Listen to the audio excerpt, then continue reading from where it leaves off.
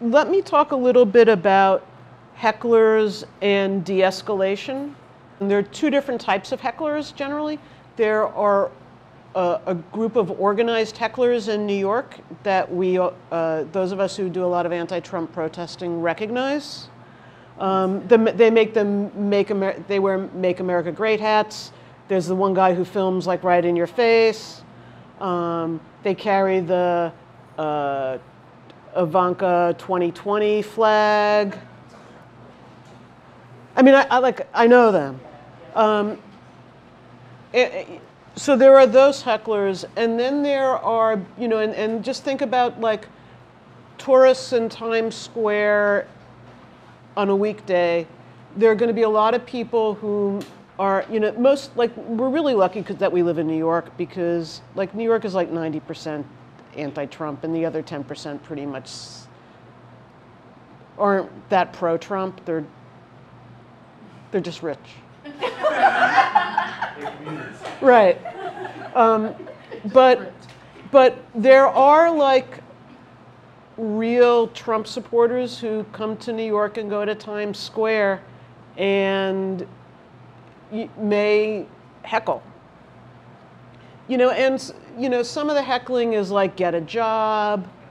Uh, they no longer say go back to Russia. Although they that used to be a big heckle, but they don't say that anymore. But you know, you, they'll, they'll say like, uh, "Go get a job." She lost, he won. You know, right? He's your president. He's he, right. My country, right or wrong. you know. So, and the problem is, is that someone in our crowd is going to take the bait. Now, what a heckler wants and, and what they have the ability to do is to get all the limelight and all the attention. And so what our job is to, is to deny them that. Um, and to, and to not let them get the whole attention of the whole demonstration turned on, on them. And the press love this because not that, I mean, our demonstrations are kind of boring normally. It's not, they're not really newsworthy. But if there's a confrontation or a good fight and it's kind of pithy, that makes for good news coverage. And so the media will often egg on these kinds of confrontations. So it is our job as marshals um, to de escalate. So let's talk about individual hecklers first. You know, so a couple of uh, Midwesterners who are very pro-Trump and whatever. So uh, the way that I have found the best to do it is to tell our people, let me deal with it, don't take the bait. He's baiting you. Focus on, you know, focus on why we're here. And then I talk to the heckler, I introduce myself. I say, hi, I'm Jamie uh, what's your name? Uh, and this really disarms them because, and then I ask them questions. Where are you from? What do you think about the demo? Did you, you know, are you really pro-Trump? You know, is there anything he's done that you're, un, you don't really, that you're not comfortable with? And, and I try to have a conversation with them. And what this does is um, it takes them one from shouting to talking. And that means that uh, they're not drawing so much attention. Uh, two, it means that I'm listening to them, and that often freaks them out because they're expecting uh, hostility. And if you meet them not with hostility, they're completely thrown off balance. And sometimes all they, you can, uh, what I always do, because I found that it's an argument that works, is I ask them if they believe in the First Amendment. Um, and sometimes they'll ask me, do I believe in the Second Amendment? And I'll say, we don't have to agree on all the amendments, but like, do, do you at least like agree with the First Amendment? And it's like, we have common ground. Like we're, we're, we don't disagree on everything. We both agree that people have a right to demonstrate and to gather and free speech and to critique, and that's what we're doing. I said, and I respect your First Amendment right to talk, you know, to, to be here. Um, and then the whole object is just to talk them down and let them be heard.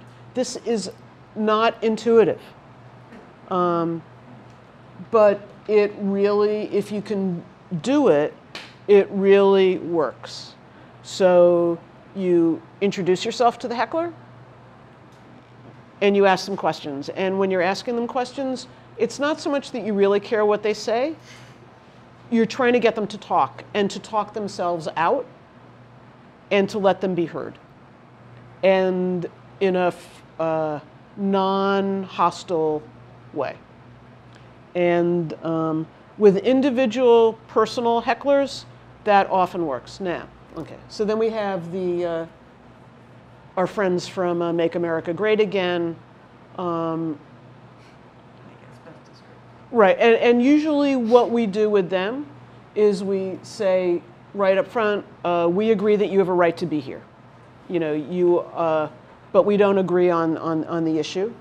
Um, we will respect your First Amendment rights, but we want you to respect our First Amendment rights. Um, and we tell people to ignore them. Um, what, what people want to do is to chant over them, and that doesn't work. So even if there are 10 of them and they're chanting, uh, lock her up. Right, lock her up.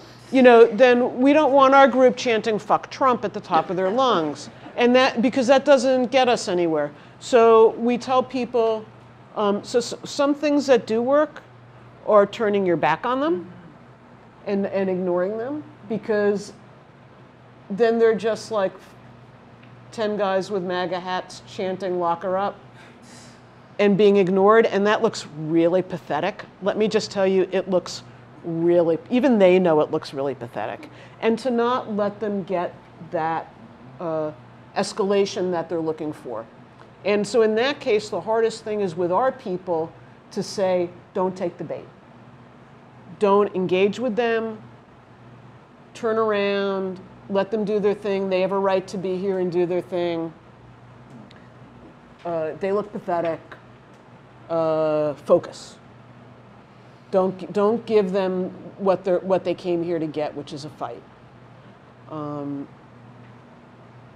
and uh, in Rise and Resist, we've done a lot of demonstrations where we've had, you know, 30 people picketing, doing our thing, and like 10 feet away, they're standing with a Ivanka 2020 flag.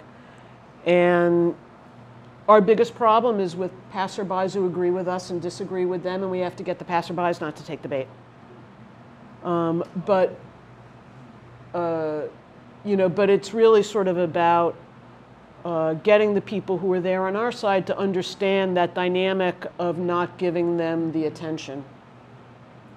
Uh, and also not relying on the police to separate them because we, you know, we do believe in their First Amendment right to be there. You know, so it's not that we want the police to chase them away. You know, uh, they have a right to, to do what they're doing. Um, and and that's that's a that's a hard thing sometimes for us to hold.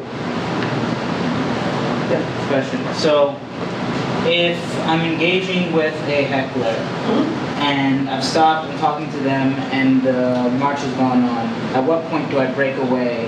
Like, how do I sort of, whenever, it's whenever I'm tired of it? Yeah, you know, I mean, I, you know, I would say like after a few minutes, everyone runs out of steam. Oh, okay. But the the important thing is to not do a like shut the fuck up, you, you know, moron. You know, I mean, you know, you sort of have to like check what you're thinking because my initial reaction is is is not never is not what I want to have come out. You know, it's like I, you know, you have to like channel.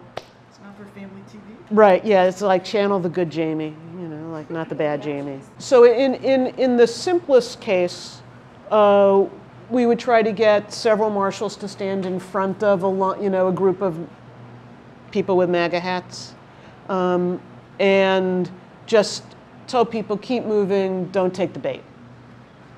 You know, just because it's uh, it, it, otherwise it, it gives the press an opportunity to make us look ugly, and it, it, it hurts our message if, if we take that bait. A couple of other things. Um, there may be people at this demonstration who uh, uh, make us uncomfortable. So there may be black flag anarchists. There may, you know, there, um, there may be people who don't appreciate that they're marshals at all and feel that marshals are oppressive. And uh, we just have to live with that um, because we are there to create, um, uh, to, to keep things uh, safe by de escalating. Not everybody uh, agrees with de escalation, but it's the best way to keep us safe. Um, and it feels really fulfilling to do it when things go right and when you know you prevented a good demonstration from going bad.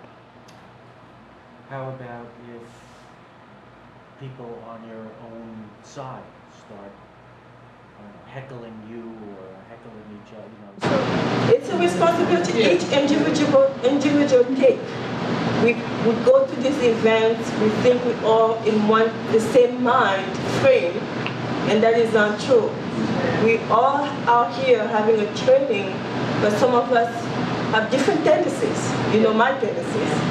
So I like to be approached by the police officer and to have a conversation. And I know how I will respond politely, with dignity of the officer and my own, and professionalism. You know when you back down, you know how far you can take it. Some people are confrontational. I look confrontational, but I'm not really.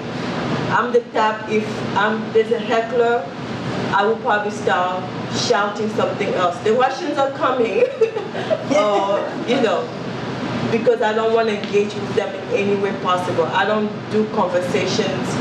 I rather just move on and keep the peace. And remembering, I'm not a police officer or security. It's not my place. It's not my job.